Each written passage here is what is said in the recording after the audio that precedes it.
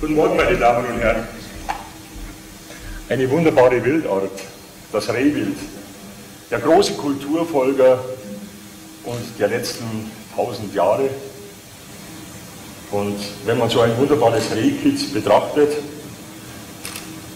man, möchte man gar nicht glauben, dass es sich hier um ein Problemtierart handeln könnte.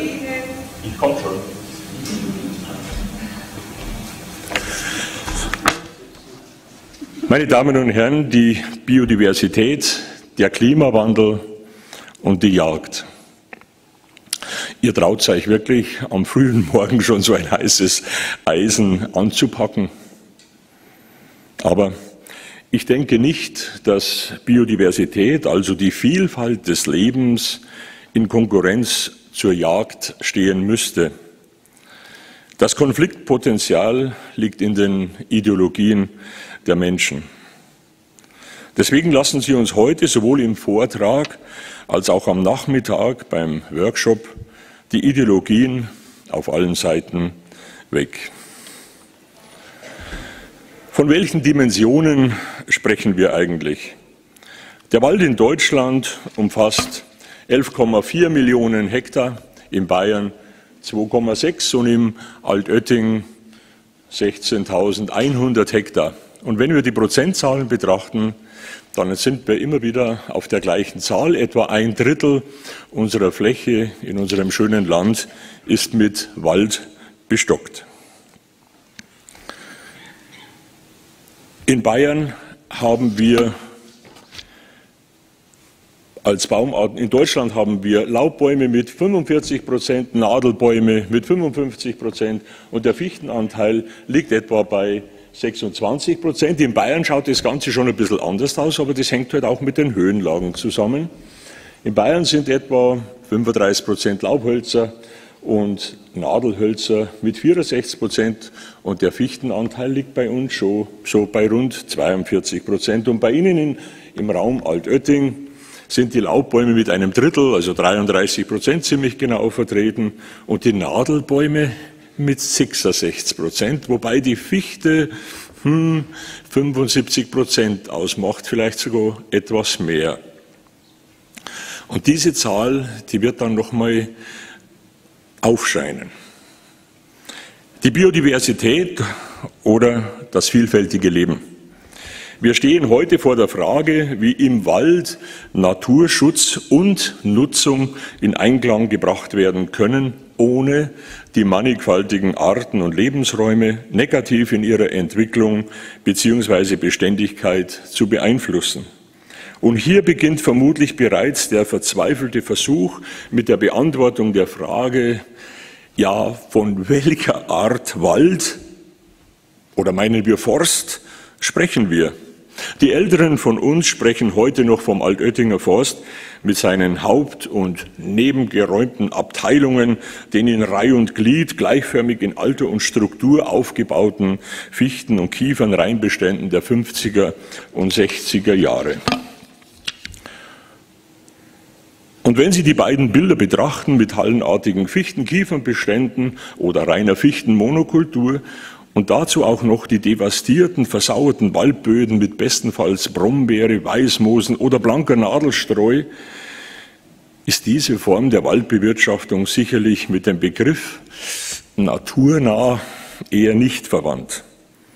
Oder meinen wir, die nach Wiebke und Vivian mit Standort- und naturgemäßer Baumartenzusammensetzung aufgeforsteten Sturmflächen mit hohem Laub- und Tannenanteil und schon kommen wir zu wichtigen Begriffen in der Forstwirtschaft wie standortgerecht und naturgemäß einer möglichen Baumartenvielfalt schon etwas näher.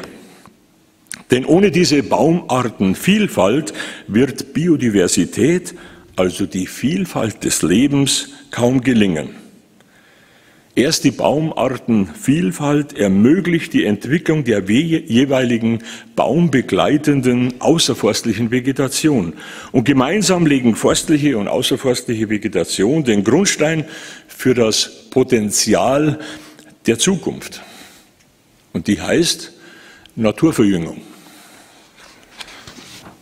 Wir wissen alle, Dieses ist nicht nur von den fructifizierenden unterschiedlichen Baumarten im Altbestand abhängig, sondern im Wesentlichen vom Zustand der Humusform am Boden.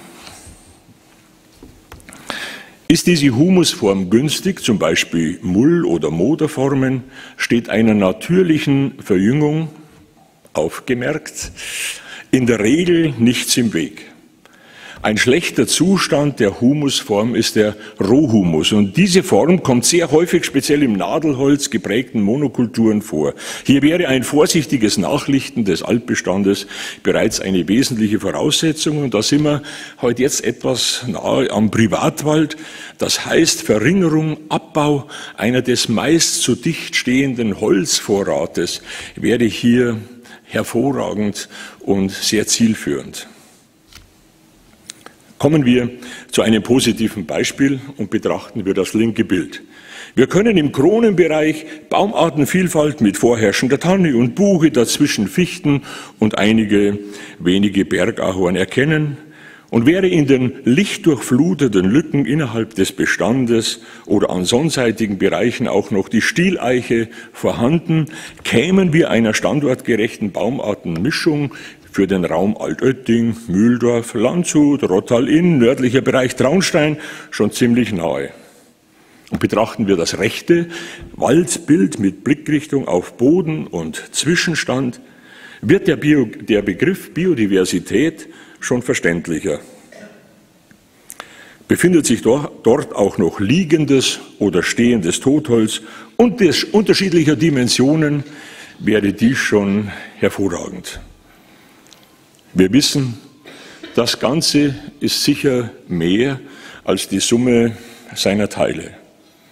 Auf die Waldnatur trifft dieser Anspruch in ganz besonderer Weise zu. Bis zu 14.000 Tier, 6.000 Pflanzen und 5.000 Großpilzarten ergeben auch in der Summe nicht den Grund für das Gefühl, das Menschen im Wald oft ergreift.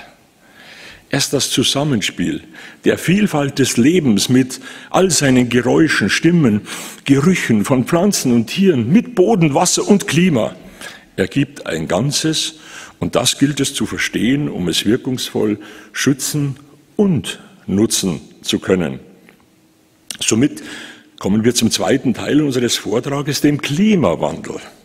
Dass das Klima sich ändert, ist ein natürlicher Vorgang, wie uns die Eiszeiten und die nacheiszeitlichen Phasen lehren. Das Bedrohliche am derzeitigen menschengemachten Klimawandel ist die Geschwindigkeit und die Anfälligkeit der vom Menschen geschaffenen Ökosysteme. Das trifft auch auf die unterschiedlichen Waldökosysteme und deren Funktion für Mensch und Gesellschaft zu. Denken Sie nur an die eingangs gezeigten Bilder mit Fichtenmonokulturen. Die großartige Baumart Fichte, Baum des Jahres 2017, der Brotbaum unserer Waldbesitzer und Forstverwaltung schlechthin. Nur, diese in unseren Breiten gerade einmal 200-jährige Erfolgsgeschichte neigt sich offensichtlich dem Ende entgegen. Glaubt man den Klimaprognosen, und es gibt keinen Grund daran zu zweifeln, wird sich mit der Fichte vermutlich die nächsten 50 bis 100 Jahre unter Umständen noch ganz gut Geld verdienen lassen. Aber was dann? Welche Vorkehrungen haben wir Menschen für eine ungewisse Zukunft getroffen?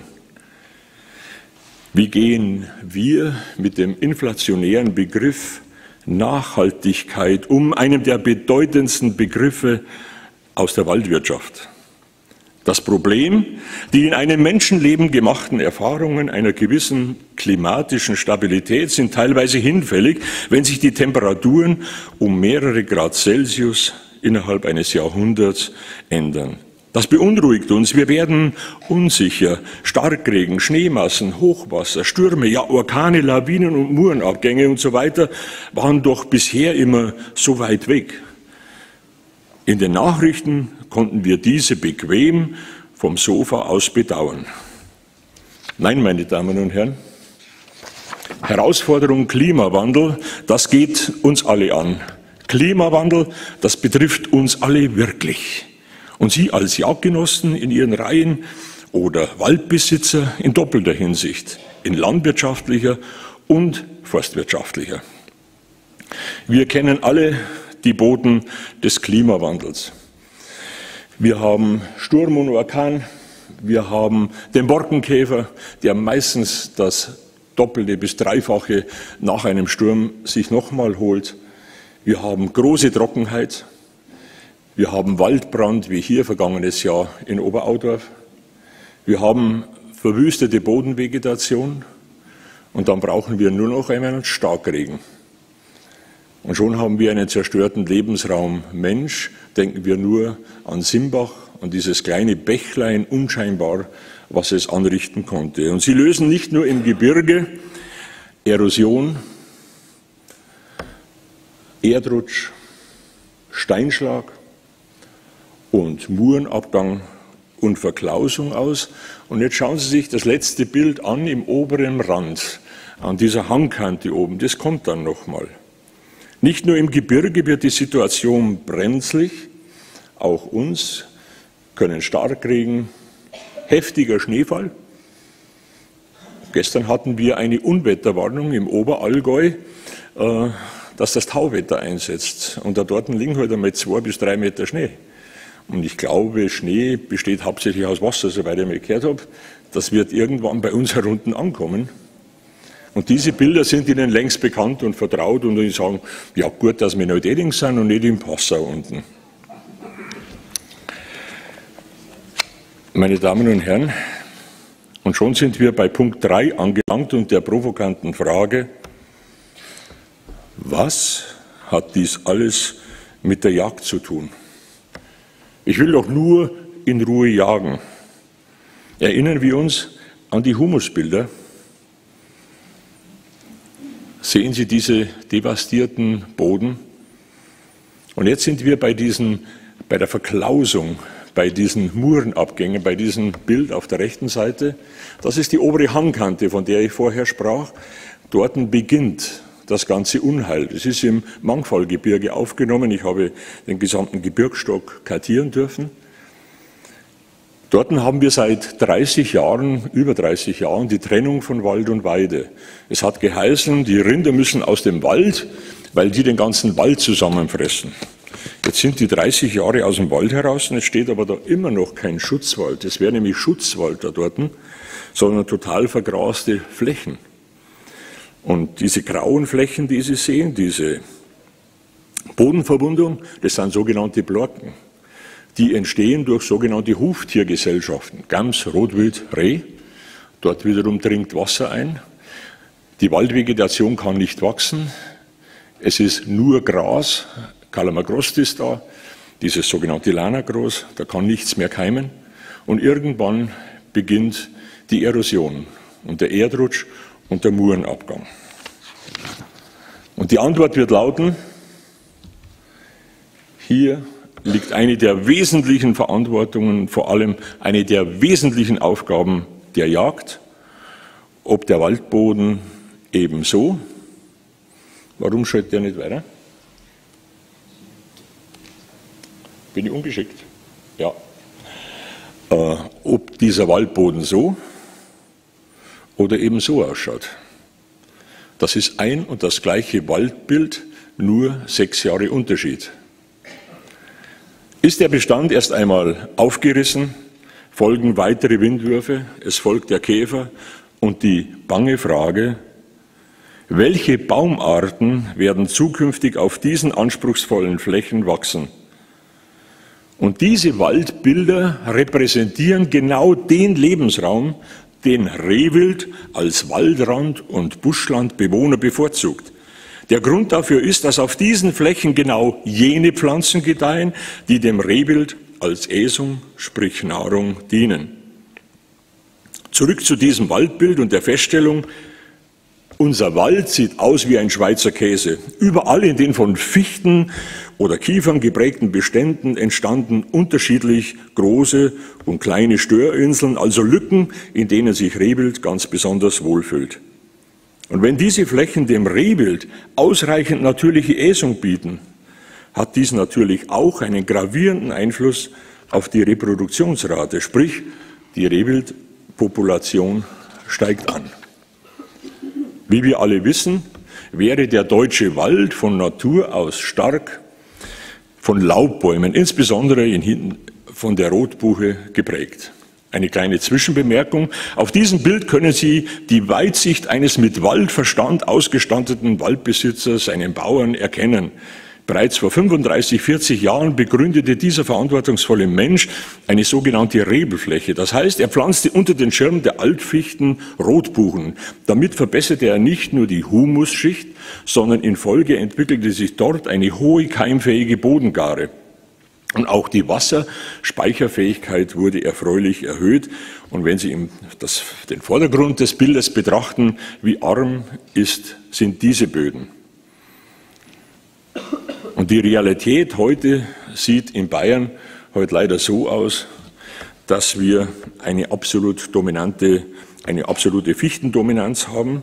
Aber die spiegelt die Waldnutzung der vergangenen Jahrhunderte wider. Vom Mittelalter bis ins frühe 19. Jahrhundert wurden viele Wälder in Deutschland übernutzt oder kahlgeschlagen, um eine drohende Holznot abzuwenden.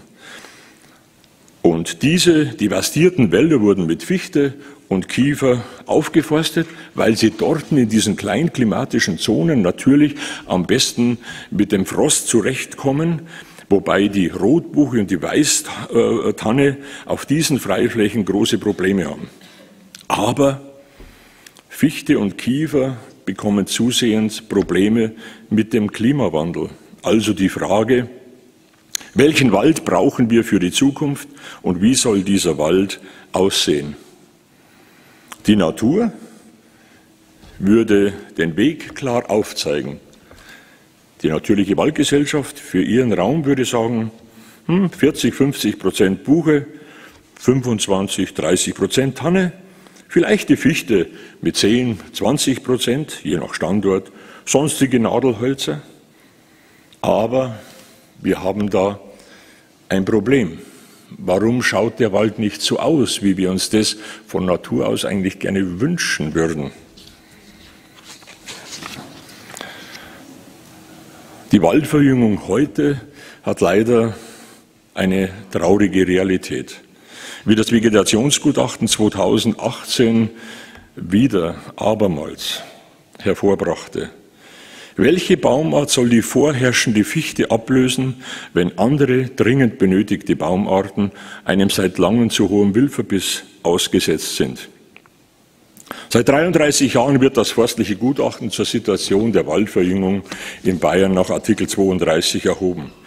Und seit 33 Jahren stellen wir in durchschnittlich 60 Prozent der Hegegemeinschaften Bayerns eine um plus minus fünf Prozent umherpendelnden zu hohen oder deutlich zu hohen, äh, hohe Verbissbelastung fest. Da stellt sich nur noch eine Frage, können Sie es nicht oder wollen Sie nicht? Der gesetzliche Auftrag an die Jagd wäre eindeutig. Die Jagd hat für einen gesunden, artenreichen Wildbestand zu sorgen, der an die Landeskultur anzupassen ist. Sie hat nicht für einen zahlreichen Rehwildbestand zu sorgen, zum persönlichen Jagdvergnügen. Also bitte, meine Damen und Herren, diese Waldbilder mit 1,0 Fichte im Altbestand, lassen wir die Emotionen weg, diese Waldbilder mit 1,0 Fichte im Altbestand und dem Fehlen von mindestens drei Waldgenerationen, liebe Freunde, die gilt es in Zukunft generationengerecht umzubauen. Deshalb sollten wir auch nicht an den Waldrändern auf Wiesen und Feldern herumsitzen, sondern uns darauf besinnen, Wald braucht Jagd, es ist Zeit zum Aufbrechen damit in 100 Jahren Ihr Wald in Ihrer Heimat Altötting nicht mehr nur mit 33 Prozent Laubbäumen und 75 Prozent Fichte und so weiter bestockt ist, sondern mit naturnahen 50 Prozent Laubhölzern, 20 Prozent Tanne, 15 Prozent Eiche. Und vielleicht, wenn Sie es schaffen, wir wünschen, dass unserem, unserem Brotbaum Fichte wirklich 10, 15 Prozent Fichte. Und dann hätten wir schon sehr viel für die Vielfalt getan, denn nur die Biodiversität, die Vielfalt des Lebens macht uns stark. Denn es, wir bekommen guten Humus, die Baumartenvielfalt, eine Stabilität in dem Bestand, der Holzzuwachs ist, nimmt zu, ein unheimlich finanzieller Gewinn für den Besitzer, für den Waldbesitzer, Sicherung der Lebensräume. Wir haben gesehen, Lawinen und äh, Hochwasser, die Artenvielfalt steigt und das Landschaftsbild tut unserer Seele unheimlich gut. Meine Damen und Herren, vielen Dank für Ihre Aufmerksamkeit. Ich freue mich Nachmittag auf den Workshop. Da brauche ich eure Hilfe, weil ich käme noch nicht so recht aus dort aus dem Holz. Und vielleicht kommen wir da auf das Weisheitsletzten Schluss. Vielen Dank, einen schönen Tag und bis später.